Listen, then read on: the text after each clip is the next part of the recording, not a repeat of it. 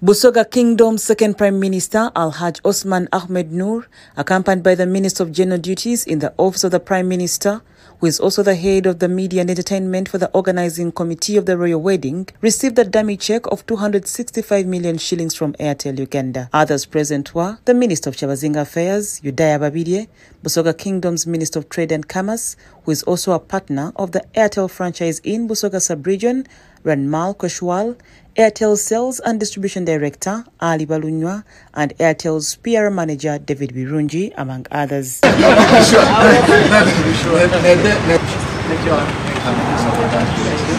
Airtel Money's Managing Director, Japheth Aritho, expressed joy and profound gratitude that they shared the celebration of the union between His Majesty Kyabazinga, William Gabula Nadiope IV, and Inhebantu Jovia Mutesi. He noted that the Busoga Royal Wedding is a tale of unity, culture, rich heritage, and a vibrant tradition.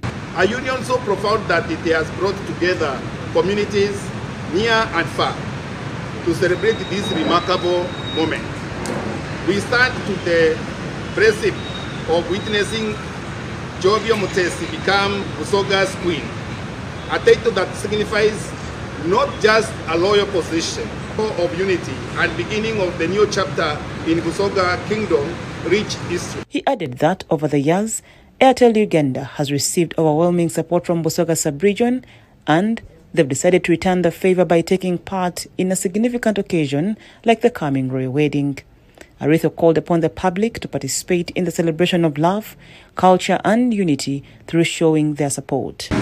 In closing, let me embrace this love story as a source of unity and inspiration.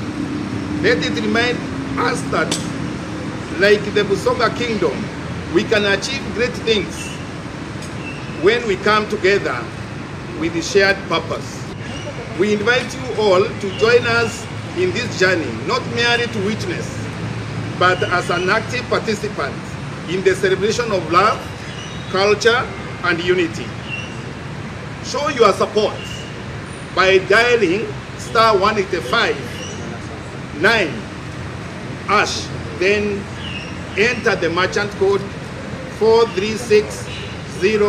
4360000 Airtel Sales and Distribution Director Ali Barunya revealed that the package includes 40 million shillings, organizing pre-parties in some districts of Busoga, among others. lw'embaga ya baba lwenu.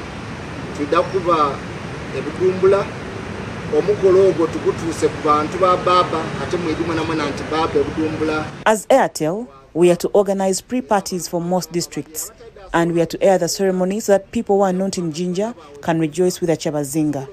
And we have brought 40 million shillings in cash for the organizers to start off with the preparations. Airtel Uganda who have joined us in supporting the preparations and contributing towards the historical event that is coming up on the 18th of November 2023. Report compiled by Donald Kidia for the news.